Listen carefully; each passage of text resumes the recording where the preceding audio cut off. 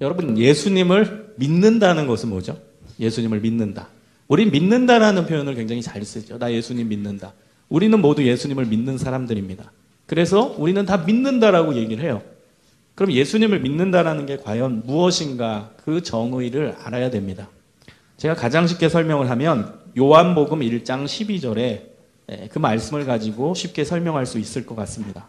요한복음 1장 12절에 보면 이렇게 나와 있어요. 영접하는 자, 곧 그 이름을 믿는 자들에게는 하나님의 자녀가 되는 권세를 주셨으니. 영접하는 자, 그 동의어가 믿는 자래요. 그럼 예수님을 믿는다라고 하는 것은 예수님을 영접하는 것입니다. 영접이라는 단어가 믿는다라는 단어보다는 이해하기가 쉬워요. 왜냐? 우리가 일상적인 용어 속에 영접하다라는 용어를 사용하기 때문입니다.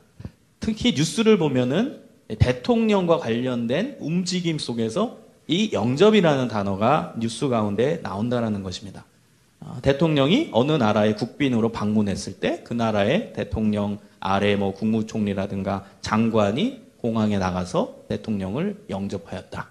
우리나라 대통령이 외부 순방을 마치고 국내에 돌아올 때는 삼부 요인이 나와서 대통령을 영접하였다. 그런 단어들을 우리는 뉴스에서 들을 수 있습니다. 여러분, 영접이라는 단어는 그래서 사전적 의미가 귀하게 받아들이다, 귀하게 모시다입니다. 대통령이 왔는데 한 나라의 리더인데 귀하게 모셔야죠. 그 귀하게 모시다라는 단어가 영접입니다. 그 영접이라는 단어가 요한복음 1장 12절에 동일하게 나오는 거예요. 그럼 여러분 의미를 알겠죠? 예수님을 영접한다. 그것은 곧 예수님을 믿는다거든요. 그럼 예수님을 귀하게 모시는 것. 이것이 예수님을 믿는 것입니다. 예수님을 믿는 게 어려운 게 아니라 예수님을 나의 삶의 중심되는 분으로 귀하게 모시는 것. 이것이 예수님을 믿는 것입니다. 어느 정도까지 예수님을 귀하게 모셔야 되는 줄 아세요? 여기서부터는 좀 더 어려워지죠. 아, 나도 예수님을 귀하게 모시고 있어요. 나도 내 삶에서 예수님을 귀하게 모시고 있어요. 라고 이야기할 터이지만, 어느 레벨까지, 어느 정도까지 예수님을 귀하게 모셔야 되냐면, 갈라디아서 2장 20절을 보면, 사도 바울이 이렇게 얘기합니다. 내가 그리스도와 함께 십자가에 못 박혔나니, 그런 즉 이제는 내가 산 것이 아니요 오직 내 안에 그리스도께서 사신 것이라. 이제 내가 육체 가운데 사는 것은 나를 사랑하사 나를 위하여 자기 몸을 버리신 하나님의 아들을 믿는 믿음 안에서 사는 것이라. 내 안에 내가 없고 하나님의 아들 예수님이 내 안에 사는 정도까지 가는 것이 영접입니다. 얼만큼 귀하게 모셔야 된다고요? 내가 없어져야 된대요. 그리고 없는 그 자리에 예수님이 들어오시는 것. 그것이 영접이고 그것이 예수님을 믿는 것입니다. 그럼 여러분이 이렇게 쉽게 생각하면 될 것 같아요. 나는 얼마만큼 예수님을 믿는가?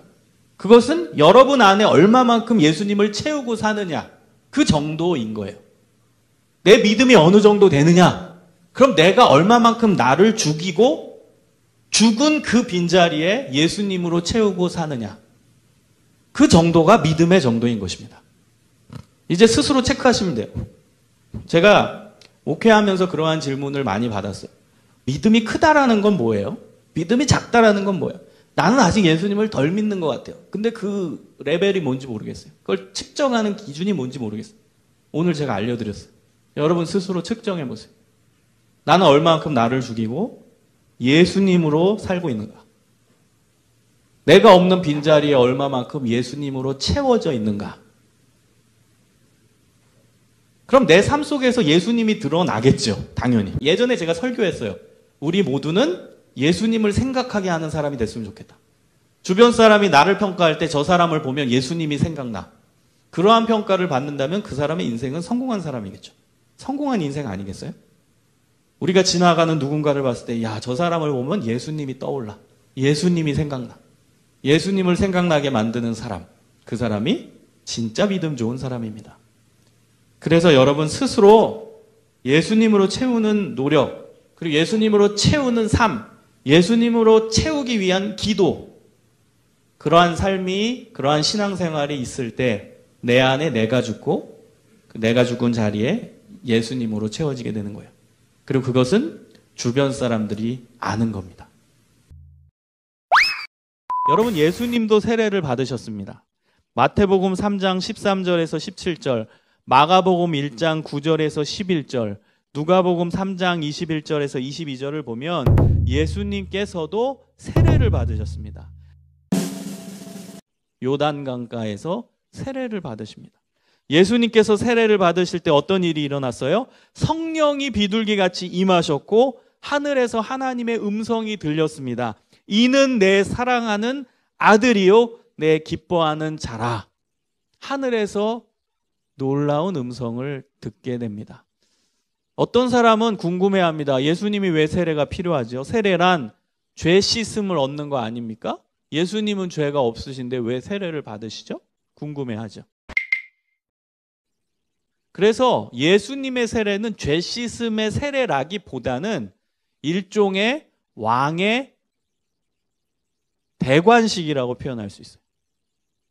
예수님께서 하나님의 아들로서 세상에 선포되어지는 거예요. 그래서 그것을 하나님이 증명하신 거예요. 하늘에서 음성을 내려서 이는 내 사랑하는 아들이요 내 기뻐하는 자다. 이 분은 내 아들이고 하나님이다. 하늘에서 증명을 하는 거예요. 그래서 예수님의 세례는 우리의 세례와는 좀 다릅니다.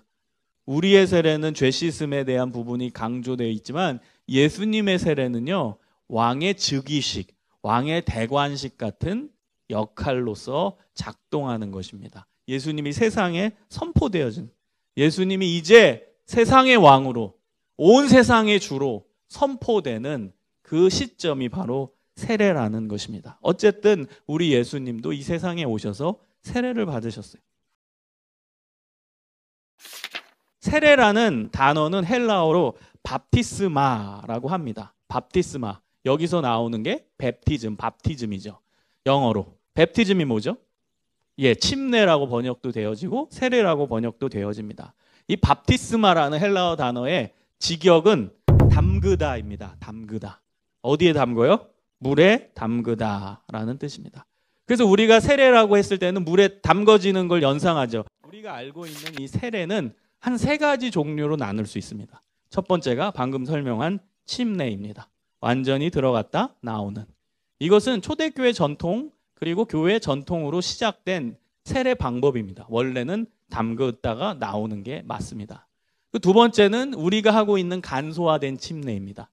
왜냐하면 기독교의 복음에서 핵심은 내용이거든요. 우리 기독교 신앙의 핵심은 형식이라기보다는 내용이 중요한 거예요. 간소화돼도 중요한 건 내용인 거죠. 이 물이 깨끗하게 되고 물이 우리의 몸에 들어가고 우리의 마음에 들어가고 우리 영혼에 들어가서 예수 그리스도로 말미암아 깨끗게 되어진 것을 상징하는 거기 때문에 굳이 물 속에 안 들어가도 간소화돼도 그 의미는 중요하고 그 의미는 살 수 있다라고 보기 때문에 간소화된 침례를 베푸는 것입니다. 세 번째 세례는 유아 세례입니다. 유아 세례. 여러분 유아 세례 받으신 분 있죠? 유아 세례를 인정하지 않는 교단도 있어요. 근데 우리 교단은 이제 유아 세례를 인정하는데요. 유아 세례는 아이가 아기 때 이제 받는 거잖아요. 아이가 말을 할 수도 없고 아이가 사실은 자기 의사를 표현할 수가 없는 거예요. 그래서 유아 세례의 핵심은 엄마 아빠의 신앙 고백이에요. 하나님의 아들 딸이오니 하나님이 인도하여 주시옵소서 이러한 신앙 고백을 가지고 아이들에게 세례를 베푸는 것입니다. 그리고 나서 한 번 재확인하는 시간은 갖죠. 중3 때 또 늦으면 고1 때 확신하는 시간을 갖게끔 합니다. 그것을 입교라고 표현을 합니다. 그래서 입교 때는 세례를 하는 게 아니에요. 유아 세례를 받은 사람이 다시금 자신의 입술로서 신앙 고백을 하는 거예요. 엄마 아빠의 신앙 고백으로서 나는 세례를 받았습니다. 이제는 내 입술로 신앙 고백을 합니다. 저 예수님 믿습니다. 저 예수님 때문에 새로운 존재가 되었습니다. 저 예수님과 동행하며 살겠습니다. 자, 정리해 볼게요. 첫 번째 침례 정리됐죠? 물속에 들어갔다 나오는 거. 그건 초대교회 전통이었고 그리고 밥티스마라는 단어의 원래 의미입니다. 물에 들어갔다 담갔다 나오는 거. 두 번째는 간소화된 침례. 우리가 하고 있는 세례를 의미합니다. 그 세례는 형식을 간소화하고 내용을 구체화한 거죠. 세 번째는 유아 세례. 엄마 아빠의 신앙 고백으로 받은 거. 그리고 그 유아 세례를 받은 사람이 자신의 입술로 다시 한번 청소년기 때 고백하는 걸 입교라고 이야기를 합니다. 세례의 의미입니다. 우리가 의미를 알아야죠. 세례를 받았는데 그 세례 의미도 모르고 받으면 안 되잖아요. 첫 번째 의미는 예수님의 죽으심과 부활에 동참하는 거예요. 밥티스마를 생각하세요. 담그다. 물 속에 들어가요. 그럼 사람이 어떻게 되죠? 물 속에 계속 들어가면 죽어요. 이게 의미입니다. 목사님이 세례받는 사람, 침례받는 사람 이 고개를 이렇게 감쌉니다. 그리고 나서 물 속에 자연스럽게 집어넣습니다. 무슨 의미예요? 물 속에 사람이 들어가면 숨을 못 쉬고 죽는다라는 거예요. 예수님과 함께 너는 죽었어. 예수님이 십자가에서 돌아가신 거 바로 너의 죽음이야. 넌 이미 죽었어. 예수님과 함께 죽었어. 이 의미예요. 그리고 다시 이제 목사님이 팔을 올려서 물 속에서 끄집어내거든요. 그것은 예수님과 함께 물 밖으로 나와서 살았어. 예수님의 부활을 상징하는 거예요. 물 속에 들어가면 죽은 거고 물 속에 나오면 살게 되는 거예요. 근데 중요한 것은 내가 스스로 들어갔다가 내가 스스로 나오는 게 아닙니다. 거기서 이제 목회자 역할은 예수님의 대리자 역할을 하는 거예요. 같이 물 속에 들어가고 그 다음에 같이 나오는 거예요. 내가 예수님과 함께 십자가에 못 박혀 죽었고 그리고 예수님과 함께 다시 생명을 얻게 되는 살아나는 것입니다. 그래서 오늘 본문 말씀을 보면 로마서 6장 3절에서 5절을 보면 무릇 그리스도 예수와 합하여 세례를 받은 우리는 그의 죽으심과 합하여 세례를 받은 줄 알지 못하느냐? 예수님과 합하여 죽은 거예요. 두 번째입니다. 여러분, 물은 어떤 걸 상징하죠? 물은 깨끗하게 하는 원천이, 깨끗하게 하는 도구입니다. 그래서 우리가 침례를 받으러 세례를 받으러 물에 들어간다. 그리고 물을 받는다. 그것은 무슨 의미예요? 깨끗하게 되었다. 내가 죄가 내 더러운 것이 깨끗하게 되었다라는 증명, 증거가 되는 것입니다. 고린도전서 6장 11절에 보면 너희 중에 이와 같은 자들이 있더니 주 예수 그리스도의 이름과 우리 하나님의 성령 안에서 씻음과 거룩함과 의롭다 하심을 얻었느니라. 여러분 씻어졌어요. 죄가 씻어졌어요. 그러면 거룩해져요. 거룩해지면은 하나님 입장에서는 야 너는 의롭다라고 칭함을 받은 거예요. 마지막 세 번째 세례의 의미가 중요합니다. 그리스도와 결합하는 거예요. 예수님과 합해지는 거예요. 십자가는 예수님과 함께 죽고 그 다음에 부활은 예수님과 함께 사는 거잖아요. 그 자체가 바로 바로 내가 예수님과 함께 한다라는 거예요. 그래서 세례를 통해서 아 나는 예수님 거야. 나는 예수님과 함께 사는 존재야. 나는 예수님 때문에 살아난 존재야. 이제부터는 내가 스스로 사는 것이 아니라 나와 함께 계신 예수님과 동행하는 거야. 결단하는 의식이 세례식이에요. 갈라디아서 2장 20절에 사도 바울의 고백이 대표적이죠. 대표적이죠. 내가 이제 그리스도와 함께 십자가에 못 박혀 죽었나니 이제는 내가 사는 게 아니라 내 안에 그리스도께서 사시는 거래요. 이제 내가 육체 가운데 사는 것은 나를 사랑하사 나를 위하여 자기 몸을 버리신 하나님의 아들을 믿는 믿음 안에서 사는 것이라. 여러분 세례식은요. 예수님과 결합하는 사건이에요. 예수님과 동행하는 것을 선포하는 의식이 세례식이에요. 여러분 세례 이미 다 받으셨어요? 그럼 여러분 예수님과 매일매일 동행하는 거예요. 믿으십니까? 여러분 정말 예수님과 동행하고 계세요? 세례를 받은 자예요. 나 세례 받았다. 이거 예수님과 결합됐다라는 뜻이에요. 그 자체로 감격이 몰려오는 거예요. 그 선포만으로도. 여러분도 힘들고 외롭고 어려운 일이 있을 때 선포하세요, 스스로. 나 세례 받았다. 나 세례 받았다. 여러분 세례 받은 자예요. 당당하게 사세요. 여러분 세례받은 자예요. 힘차게 사세요. 여러분 세례받은 자예요. 예수님과 함께 행복하게 사세요. 세례받은 게 얼마나 큰 특권과 축복인데 여러분은 그 축복을 누리지 못하고 산다니까요. 나 세례받았다. 이 자체가 힘이에요. 그 자체가 축복이에요. 그 자체가 능력이에요. 그게 여러분이 받으신 세례입니다.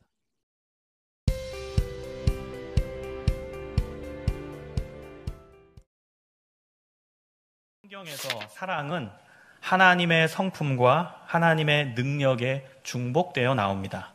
갈라디아서 5장 22절 23절을 보면 성령의 아홉 가지 열매, 즉 하나님의 성품, 하나님의 인격이 나옵니다.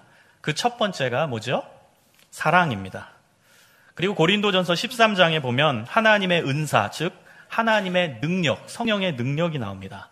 가장 큰 능력이 사랑입니다. 고린도전서 12장에 보면 은사장이라고 여러 가지 하나님의 능력이 나옵니다. 그 능력은 동일한 레벨의 능력이고요. 그리고 13장으로 넘어가면 가장 큰 능력, 가장 큰 은사가 나옵니다. 그 은사, 그 능력이 바로 사랑입니다. 즉, 하나님의 인격, 성품도 사랑이고, 하나님의 은사, 능력도 사랑입니다. 그렇기 때문에 하나님은 사랑 그 자체이신 것입니다. 요한일서 4장 8절에 보면 하나님은 사랑이시라. 하나님의 존재 자체가 바로 사랑이라는 거예요. 우리는 누군가를 설명할 때 형용사를 씁니다. 그 사람은 멋있다. 그 사람은 아름답다. 그 사람은 귀엽다. 형용사죠. 근데 우리 하나님에 대해서 표현할 때 사랑이 많은 이라는 형용사가 아니라 사랑. 하나님은 사랑. 명사로 언급된다는 사실입니다. 우리 문법 체계에서 보면 명사와 형용사가 있는데 형용사는 명사를 수식하는, 명사를 표현하는 말입니다. 그러니까 사랑이 많다와 사랑 그 자체라는 명사는 완전히 차원이 다른 것입니다. 명사는 그 존재 그 자체고 형용사는 그 존재를 설명해주는 표현에 불과한 거예요. 그래서 우리 하나님은 사랑이 많다와 우리 하나님은 사랑이다와는 레벨이 완전히 다른 것입니다. 우리 하나님은 사랑 그 자체이십니다. 우리 하나님의 존재가 사랑 그 자체, 사랑의 원천이십니다. 우리가 그 하나님을 믿고 있습니다.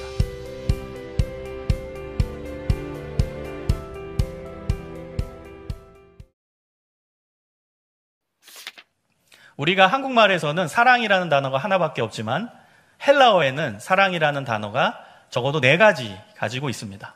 첫 번째는 필리아라는 단어입니다. 이 단어는 보통 남남 여여 이 우정을 뜻합니다. 남자와 남자, 여자와 여자 사이에 존재하는 우정적 사랑 그것을 필리아라고 이야기합니다. 고대 그리스에서는 서로 주거니 받거니 하는 사이에서 일어나는 사랑을 필리아라고 얘기를 했습니다. 두 번째 사랑의 단어는 에로스입니다. 이것은 남녀 간에 이루어지는 사랑을 뜻했습니다. 고대 그리스에서는 이 사랑은 자기가 결여되어 있는 것을 상대방으로부터 얻고자 하는 사랑, 우리가 남녀 간의 사랑에서는 그 부분이 작동하는 것 같습니다. 이게 에로스 사랑의 중요한 요소입니다. 내가 가지지 못한 것을 상대방이 가졌기 때문에 그거에 끌려서 서로 맞춰지면서 사랑이 이루어지는 것이죠. 세 번째 사랑이라는 단어는 스토르게입니다. 이 단어는 부모와 자식 간에, 즉, 혈육 간에 이루어지는 사랑을 의미했습니다. 마지막 네 번째는 우리가 잘 아는 아가페라는 단어입니다. 이 사랑은 하나님이 인간을 사랑한 사랑, 신이 인간을 사랑한 사랑을 뜻했습니다.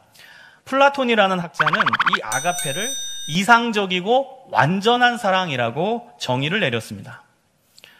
그런데 이제 마지막 단어인 이 아가페의 사랑은 조건이 없는 무조건적인 사랑인 것입니다. 로마서 5장 8절에 보면 우리가 죄인 되었을 때에 그리스도께서 우리를 위하여 죽으심으로 우리에 대한 하나님의 사랑을 확증하셨느니라. 여러분, 구약에서 하나님이 제일 싫어하시는 게 무엇이죠? 죄입니다. 그런데 우리가 죄인이었을 그때에 하나님이 예수 그리스도를 우리에게 보내주심으로 죽게 하심으로 우리의 죄를 씻어주신 것입니다. 그러므로 말미암아 하나님이 우리 인간을 얼마나 사랑하시는지 그 증거를 보여주셨다라는 거예요. 저는 로마서 5장 8절을 제일 좋아하거든요. 성경의 많은 구절들 중에. 이 구절만 보면 정말 눈물이 납니다. 하나님이 구약에서 여러분 통독해 보시면 알잖아요. 구약에서 제일 싫어하시는 게 죄, 죄, 죄, 죄입니다. 죄를 미워하세요.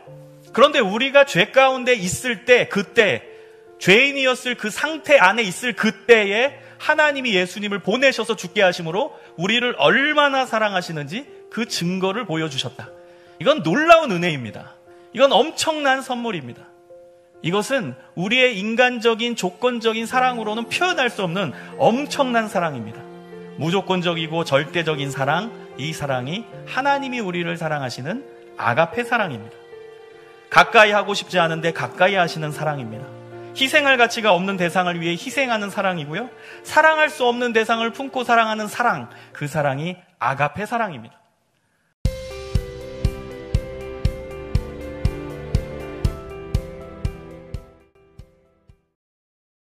그럼 이제 한 가지 더 질문을 드릴게요. 왜 하나님은 여러분에게 아가페 사랑을 보여주시고 아가페 사랑으로 사랑하셨을까요?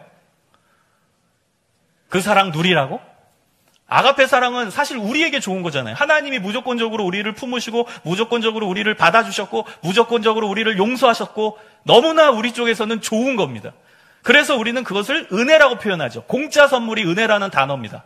공짜 선물을 받았으니까 너무나도 좋죠. 그런데 그것을 누리고자만 한다면 하나님의 뜻을 정확하게 이해하지 못한 겁니다. 하나님이 우리에게 아가페 사랑을 보여주시고 아가페 사랑으로 우리를 사랑하신 이유는 그 아가페 사랑을 받았으면 너도 아가페 사랑으로 사랑하라라는 거예요. 이것이 하나님이 우리를 아가페 사랑으로 사랑하신 이유입니다. 요한복음 13장 34절에 보면 새 계명을 너희에게 주노니 나의 새 계명을 너희에게 준다. 나의 가르침을 요약해서 준다 이 뜻입니다. 그 계명은 바로 서로 사랑하라입니다. 내가 너희를 사랑한 것 같이 너희도 서로 사랑하라. 예수님의 새 계명이십니다. 사랑이라는 단어가 제가 조금 전에 헬라어에서는 네 가지가 있다라고 했잖아요. 그럼 오늘 본문에서 쓰여진 이 사랑이라는 단어는 사랑이라는 이 헬라어 네 개 단어 중에 무엇일까요? 한번 분석해 볼까요? 처음 요한복음 13장 34절을 보세요. 내가 너희를 사랑한 것 같이 여기서 내는 누구죠? 예수님이죠. 너희는 인간이죠. 예수님 제자들이죠. 그럼 여기서 쓰여진 사랑은 당연히 아가페겠죠. 왜? 예수님은 하나님이시니까 하나님이 인간을 사랑하는 사랑을 제가 아가페라고 설명드렸으니까 당연히 이 사랑의 단어는 아가페일 것입니다. 그런데 그 다음을 보세요. 너희도 서로 사랑하라. 너희는 인간이죠. 제자죠. 인간들끼리 서로 사랑하라 해서 이 사랑은 무슨 단어일까요? 에로스일까요? 필리아일까요? 스토로게일까요? 아가페입니다. 여러분 인간들끼리 동급의 인간들끼리 사랑하는 것조차 아가페로 표현되어 있다는 사실입니다. 하나님이 우리를 무조건적으로 품고 무조건적으로 용서하시고 무조건적으로 사랑하시는 사랑이 아가페인데 그 아가페 사랑을 너희가 받았으면 너희도 다른 사람을 하나님이 인간을 사랑한 그 아가페 사랑으로 사랑하라는 거예요. 굉장히 부담되죠.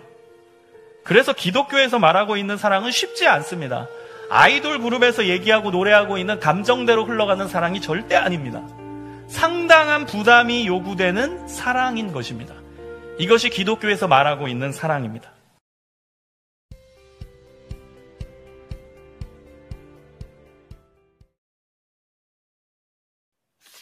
사랑하는 여러분, 우리가 아가페 사랑으로 다른 사람을 사랑할 때 필요한 전제 조건은 무엇일까요? 그건 예수님의 다른 말씀에서 찾을 수 있습니다. 마태복음 22장 39절을 보면 내 이웃을 내 자신같이 사랑하라. 예수님께서 언급하십니다. 이 말씀은 레위기서 19장 18절의 말씀을 예수님께서 인용하신 것입니다. 다른 사람을 아가페 사랑으로 사랑하기 위한 전제는 나 자신을 먼저 아가페 사랑으로 사랑해야 돼요. 여러분 그거 아세요? 사랑을 받은 자가 사랑할 수 있는 겁니다.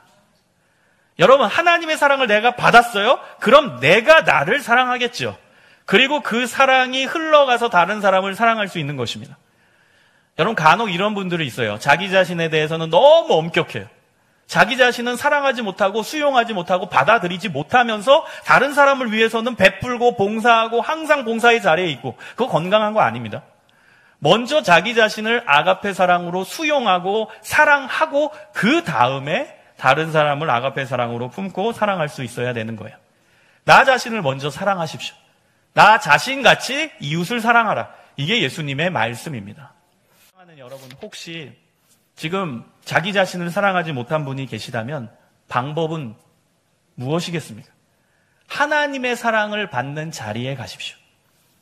여러분, 하나님의 사랑이 내 안에 가득 채워져야지 나를 사랑할 수 있는 거예요. 채워져야지 다른 사람을 사랑할 수 있는 거예요. 그 사랑은 다른 사랑이 아니라 하나님 사랑, 아가페라니까요. 그럼 내 안에 아가페가 많아야 나도 사랑하고 다른 사람도 아가페로 사랑하겠지요. 그럼 내 안에 나를 사랑하는 게 부족하거나 다른 사람을 아가페 사랑으로 사랑할 수 없다. 그 능력이 나에게 없다라고 한다면 당연히 그 해결책은 내가 하나님의 아가페 사랑을 많이 받아야겠죠. 그게 근원적 해결책입니다. 그래서 여러분 예레미야서 29장 13절에 보면 너희가 온 마음으로 나를 구하면 나를 찾을 것이요 나를 만나리라. 하나님과의 만남의 자리에 있으십시오. 그러면 하나님과 만나면 어떤 역사가 일어날까요? 당연히 하나님은 사랑이시니까 내 안에 하나님의 사랑이 충만하겠죠. 하나님과의 만남의 자리가 왜 중요합니까? 하나님과 만나고 교제하면 내 안에 충만하게 역사하는 건 사랑입니다. 하나님이 내 안에 계시니까 당연히 내 안에 하나님의 사랑, 하나님은 사랑이시라. 사랑이 가득 채워지는 것이요. 아가페 사랑이 내 안에 채워지는 것이요. 여러분, 하나님과 가까이 하지 않는 사람이 내가 다른 사람을 아가페 사랑으로 사랑한다고요? 천만의 말씀입니다. 하나님과 지속적으로 교제하지 않는 사람이 내가 이웃을 사랑할 수 있다고요? 천만의 말씀입니다. 하나님의 사랑이 내 안에 충만하지 않는데 어떻게 아가페 사랑으로 이웃을 사랑합니까? 어떻게 아가페 사랑으로 나를 사랑합니까? 절대 안 됩니다. 그래서 여러분 전심으로 하나님을 찾고 찾으며 하나님과 만나십시오. 그때 아가페 사랑이 충전되는 것입니다.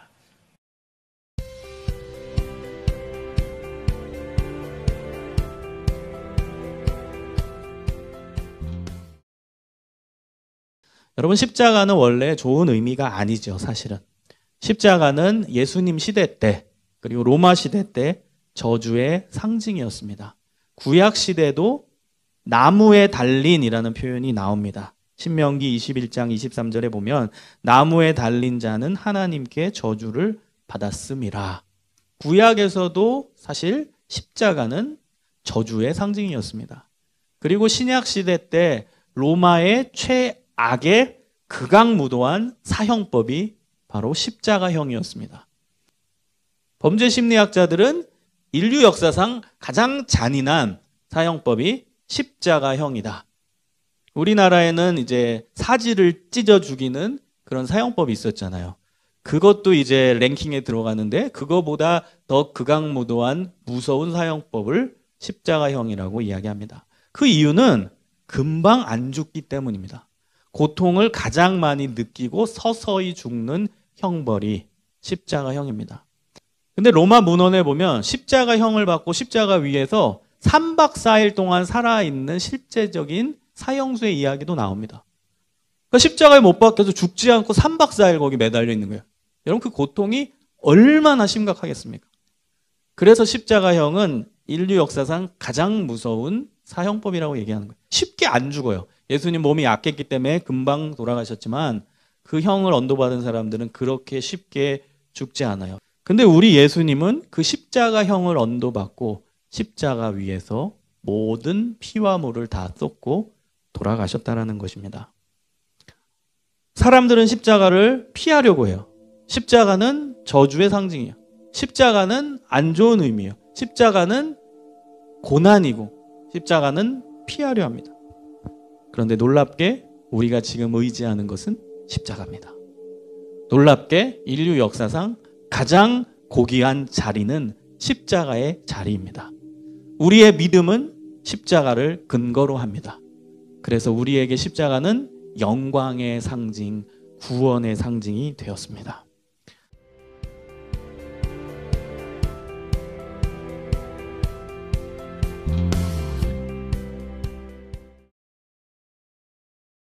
사랑하는 여러분, 십자가의 의미가 뭘까요?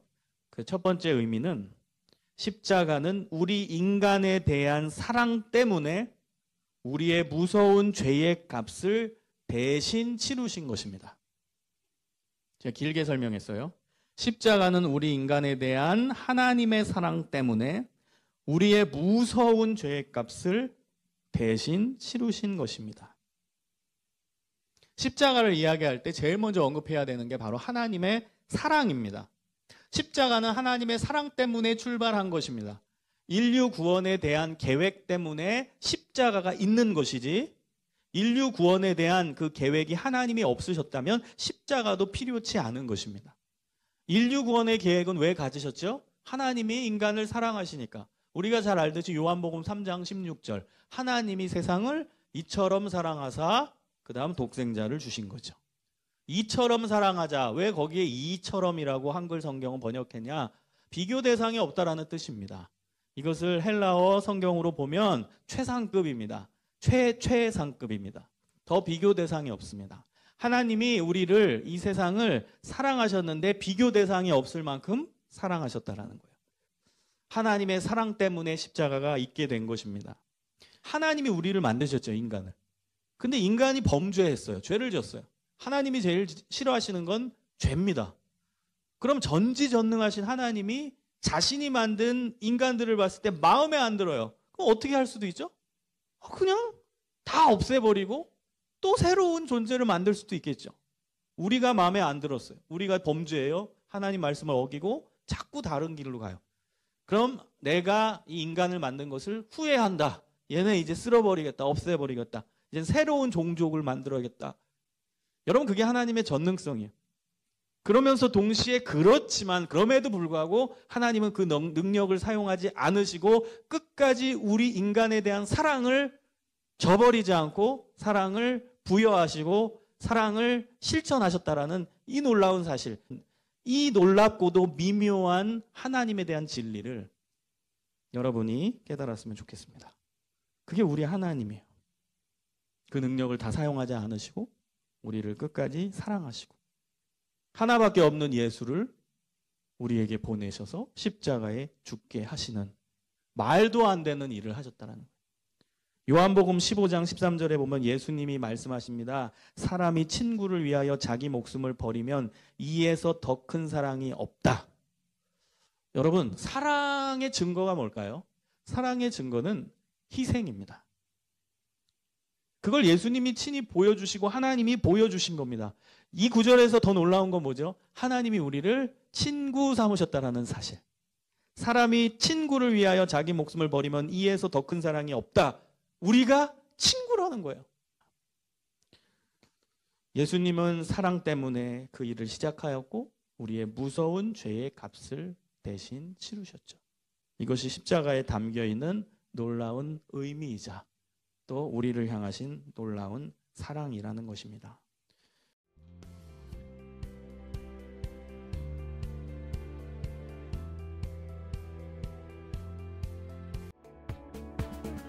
여러분 인간의 가치가 얼마나 소중하고 얼마나 중요하고 얼마나 큰지를 몸소 보여주신 사건이 십자가 사건입니다. 여러분 이것은 어떤 신학적 의미, 뜬구름 잡는 철학적 의미가 아닙니다. 여러분 개별적으로 한 사람 한 사람에게 해당되는 의미입니다. 여러분 십자가는요 인류 모두의 죄를 위한 대속 사건이에요. 죄를 대신 속하는. 그런데 그 인간 전체를 조각조각 조각 조각 조각 조각 내면 가장 최소 단위는 나 한 사람입니다. 여러분 그 십자가는 나 한 사람을 위한 십자가입니다. 여러분 그런 믿음의 고백이 있기를 소망합니다. 예수님의 십자가는 우리 모두의 십자가가 맞아요. 그런데 그 우리 모두를 쪼개고 쪼개고 쪼개면 마지막 남는 건 납니다. 십자가의 개체성이에요. 십자가는 개체, 한 사람, 한 사람, 한 사람을 위한 십자가라는 거예요. 나를 위한 십자가. 나의 영혼을 소중히 생각하고 나라는 존재를 하나님이 죽이지 않으시고 나라는 존재를 살리신 놀라운 십자가라는 거예요. 개별적인 사랑이 녹아든 십자가라는 거예요. 하나님은 개체적 사랑을 추구하시는 분입니다. 개체성이야. 사랑의 개체성. 여러분 진짜 사랑은요. 개체적 사랑이 있어야 돼요. 예를 들면 1학년 3반 담임 선생님이에요. 그럼 우리 1학년 3반을 내가 다 사랑하겠죠. 담임 교사로서. 그런데 진짜 사랑은 다 사랑하지만 그 안에 개체적 사랑이 있어야 진짜 교사입니다. 제가 여러분을 사랑한다, 사랑한다고 표현하죠. 사랑하죠. 근데 진짜 사랑은 여러분 한 명한 한 명에 대한 개체적 사랑이 있어야 그게 진짜 사랑이에요. 예수님은 우리 인류 모두를 사랑하셨지만 그 인류 모두 안에 있는 한 명한 한 명에 대한 사랑을 실천하신 것입니다. 그래서 성령을 통해서 우리 마음 하나하나 마음 안에 성령께서 역사하시죠. 개체적 사랑인 거예요. 성령이 우리 안에 계시잖아요. 이게 개체적 사랑이에요. 여러분, 우리 모두는 이런 존재예요. 하나님의 놀라운 개체적 사랑을 받은 존재예요. 그러니까 여러분 절대로 여러분의 가치를 떨어뜨리지 마세요. 어린 시절에 뭐 어려운 일이 있었을 수도 있어요. 청소년 시절에 힘든 과정을 겪었을 수도 있어요.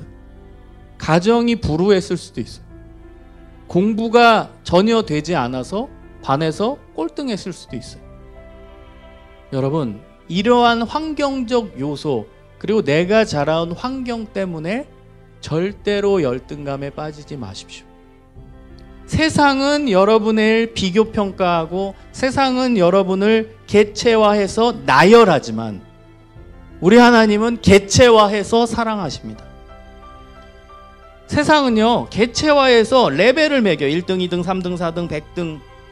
그런데 우리 하나님은 개체화해서 나열하는 게 아니라 서열을 매기는 게 아니라 한 명 한 명 사랑하십니다. 그 하나님의 사랑을 여러분 깊이 있게 묵상할 때 여러분의 문제, 심리적인 문제, 열등감의 문제도 사라집니다. 그 사랑을 여러분 깊이 있게 묵상하고 깨달을 때 여러분은 변화될 수 있어요.